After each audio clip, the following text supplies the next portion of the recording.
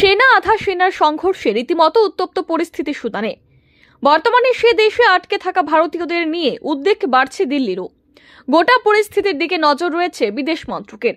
সবথেকে বেশি খারাপ অবস্থা সুদানের রাজধানী খার্তুমের। এদিকে সেখানে রয়েছে ভারতীয় দূতাবাস। ও এলাকাতেও নানা প্রান্তে জ্বলছে আগুন। ইতিমধ্যেই সেখানে ভারতীয়দের যেতে নিষেধ করেছে বিদেশ মন্ত্রক। সূত্রের খবর এমতাবস্থায় এবার সুদানের পরিস্থিতি নিয়ে উচ্চ পর্যায়ের বৈঠকে বসলেন প্রধানমন্ত্রী মোদী। একদিন আগে সুদানের পরিস্থিতি নিয়ে রীতিমতো উদ্বেগ প্রকাশ করতে দেখা গিয়েছিল নয়াদিল্লিকে। পরিস্থিতি খানিকটা শান্ত হলে সে দেশে আটকে থাকা ভারতীয়দের ফেরানোর ব্যবস্থা করা হবে বলে বিদেশ মন্ত্রকের তরফে জানানো হয়েছে।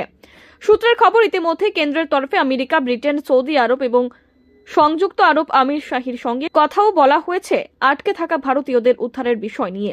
সৌদি আরব ও সংযুক্ত আরব আমির শাহী যথাসম্ভব সাহায্য ও সহযোগিতার প্রতিশ্রুতি দিয়েছে বলেও জানা যাচ্ছে। একই সঙ্গে আটকে থাকা ভারতীয়দের সঙ্গে বিভিন্ন মাধ্যমে যোগাযোগ রাখা হচ্ছে বলে জানিয়েছেন বিদেশ মন্ত্রকের মুখপাত্র অরিন্দম বাগচি। বৃহস্পতিবার সুদান প্রসঙ্গে সাংবাদিক সম্মেলনে তিনি বলেন, আমরা সুদানের পরিস্থিতির উপর নজর রাখছি।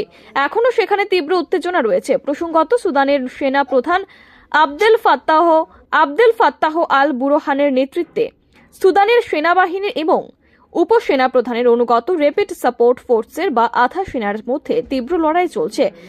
প্রসঙ্গত, সুদানের সেনা প্রধান আবদেল ফাতাহ আল বুরহানের নেতৃত্বে সুদানের সেনাবাহিনী এবং উপসেনা প্রধানের অনুগত র্যাপিড সাপোর্ট ফোর্সের বা আধা সেনার মধ্যে তীব্র লড়াই চলছে।